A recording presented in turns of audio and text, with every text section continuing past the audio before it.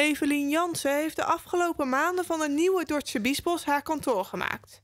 Nieuwe Dordtse Biesbos is een uh, nieuw natuurgebied bij Dordrecht. Um, wat in eerste instantie een kwaliteitsimpuls nodig heeft, omdat het uh, uh, de doorstroming van water daarin bevordert. Het komt bij de rivier in en het gaat, bij de, um, het gaat aan de andere kant eruit.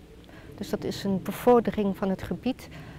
Um, de tweede is dat het een natuurgebied wordt en aanhaakt op de Sliedrechtse biesbos en de oude biesbos, zodat de dieren uh, uh, een beter tussen, tussenplek hebben.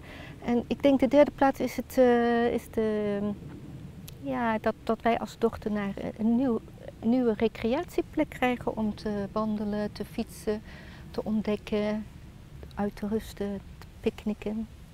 Voor de gemeente Dordrecht volgt zij het project op de voet en maakt er video's van. Ik maak een uh, zeven, achttal filmpjes per jaar. Met elke keer een ander onderwerp, een andere persoon die ik. Ik probeer het elke keer anders aan te vliegen, want het blijft natuurlijk een, uh, een, een, een, een, een bouwgebied. Dus ik kan niet zoals bij de biesbos vlindertjes en vogeltjes en uh, dat soort dingen. Ik blijf altijd alleen maar in een bouwgebied. Dus ik vlieg dat op, verschillende niveaus aan. De ene keer doe ik een, de aannemer, de andere keer iemand van de biesbos, uh, uh, van de natuur of de volgende keer iemand van de gemeente zelf, de beleidsmaker of degene die, die het landschap getekend en ontwikkeld heeft. Vanaf donderdag zijn de filmpjes van Evelien te zien bij TV Dordrecht in het programma Eilandleven.